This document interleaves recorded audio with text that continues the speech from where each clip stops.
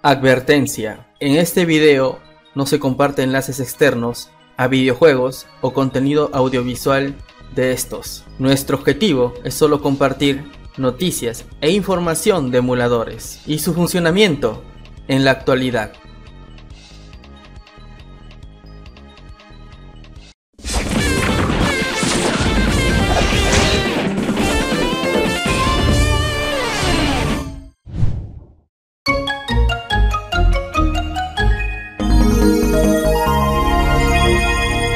Hola chicos de Immortal Games, como siempre trayendo lo mejor de la emulación para todos ustedes. El día de hoy tenemos un video especial. Presta atención, sí, el sueño eróticos de muchos fans de la emulación de Nintendo Switch para Android se vuelve realidad. Por fin el emulador suyo tiene incorporado el sistema denominado Home Menu. Ahora ya podrás disfrutar de este emulador incorporado esta opción, el cual te dará una experiencia más agradable a la hora de ejecutar los juegos de Nintendo Switch. Pero hoy te voy a compartir toda la información acerca de este tema, algunas recomendaciones y también quiero pedirles su apoyo, ya que hay que recordar que antes que un canal de YouTube, esto es una comunidad. En fin, antes de empezar no olvides suscribirte al canal, activar la campanita de para ver más videos así. Y por favor no olvides recomendarme en tus redes sociales. Yo de antemano te lo agradezco. Me presento, yo soy Carlos Consigo Draculón y esto es Immortal Games. A partir de este momento, amigo mío, presta muchísima atención porque empezamos. Vamos con el vídeo. Iniciamos rápidamente colocando como siempre a todos ustedes en contexto. Lo que pasa es que mucha gente ha estado dudando de este sistema llamado suyo y por supuesto en sus redes sociales oficiales como en Reddit han estado dejando muchas preguntas. Presta muchísima atención, tengo una duda. Mi pregunta es la siguiente. ¿Este emulador es solo un icono cambiado o en realidad agregado o editado algunas novedades, cosas nuevas para su lanzamiento?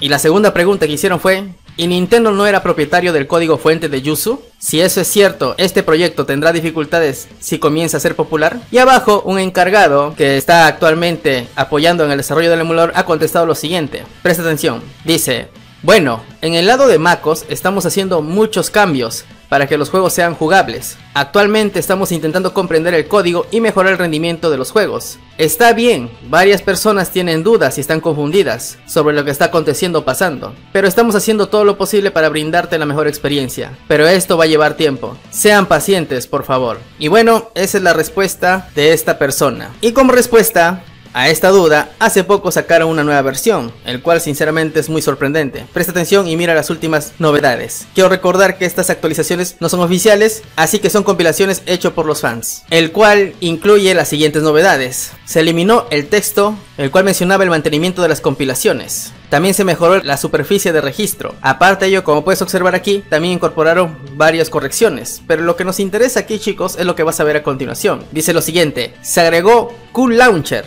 Y esto es lo que nos interesa y esto es lo que nos reúne el día de hoy. Sí, ahora el emulador suyo ya tiene incorporado el famoso Home Menu y para prueba un botón. Como puedes ver en esta imagen, este vendría a ser el Home Menu en el emulador suyo para Android.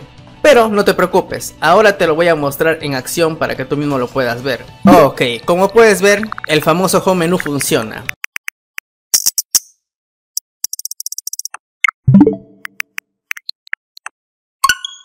Pero hay ciertas cositas que quiero aclarar aquí. Pero antes vamos a seguir viendo un poquito más para ver si el título no presenta problemas. En este caso estamos hablando del título sí, de Naruto Shippuden. Y como puedes ver anda bien si lo ejecutamos por medio del sistema denominado Home Menu. Y bueno, creo que con esto ya queda claro, ¿ok? que el sistema funciona. Pero ahora voy a darte una pequeña advertencia y también quiero que prestes atención porque necesito el apoyo de mi comunidad. ¿De qué se trata? Sí, como puedes ver, este es el emulador suyo en computadora y estoy ejecutando por supuesto el home menú a la hora de ingresar e irme a todos los programas. En este caso voy a ejecutar el Mario Kart 8 Deluxe. Pero ocurre un pequeño problema o mejor dicho un gran problema para ser sincero. ¿qué es lo que pasa? los DLCs y el update que tengo instalado en el juego pues lamentablemente parece que no funcionan. Así que míralo ok por tu propia cuenta. Observa muy bien Sí, como puedes ver, los personajes nuevos están completamente bloqueados. Así que yo te quiero pedir un pequeño favor. Lamentablemente yo en este momento no puedo probar el Mario Kart 8 Deluxe en mi dispositivo móvil. Y voy a ser sincero por qué. Porque no tengo espacio. Tengo que incorporar el juego, tengo que incorporar los DLCs, los updates, así que no me va a alcanzar el espacio. Así que comunidad, aquí va un grito de auxilio, por así decirlo. Chicos, para las personas que puedan probar, ok, esta nueva actualización del emulador suyo, pues me gustaría que prueben este título con todo actualizado, incluyendo los DLCs, y me confirmen si tienen los mismos problemas que yo en la versión de computadoras. Ese es el favor que quería pedirle a todos ustedes, chicos. Ya que hay mucha gente que se está quejando de ello, ya que si no solucionan este error, pues no podemos disfrutar cosas como veremos a continuación. Sí, como puedes ver, estás viendo a Kratos en Dragon Dogma de Nintendo Switch. Por supuesto, es un mod, ya que se menciona que tampoco los mods no funcionan. Así que señores, por favor, confírmeme, ok, si este error también pasa en Android.